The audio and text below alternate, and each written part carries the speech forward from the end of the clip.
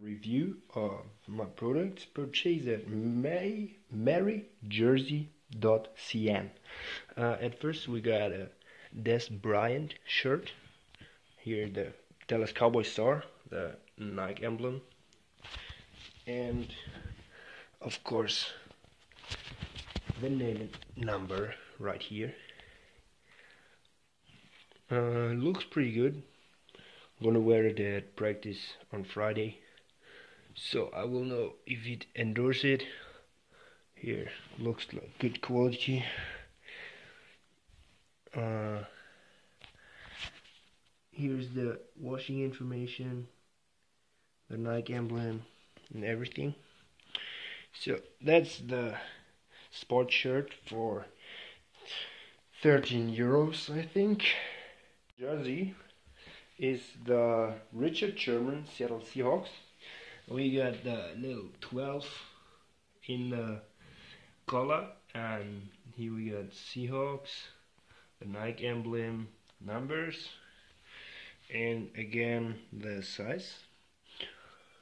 Uh, detail is pretty high and it's reflecting so if I turn on the light you can see it's actually reflection fold. So and there's one little quality remark here on this one. There we got a little black spot and three more little black spots. So that's not the finest quality or it got damaged a little bit while shipping. Um, again we got the reflection here here. It's all reflecting. Uh, um, this is the Hightower Patriots jersey with the Super Bowl emblem there. The quality is not the best, but for the price it's okay.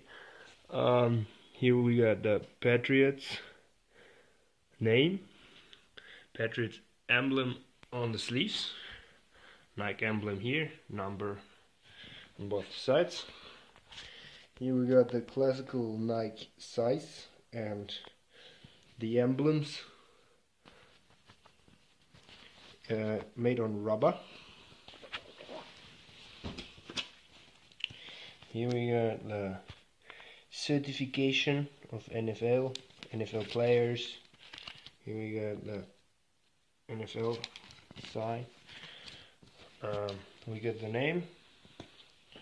Pretty good looking. Uh, the fit is really good actually. If you wear it, it's pretty good, pretty awesome.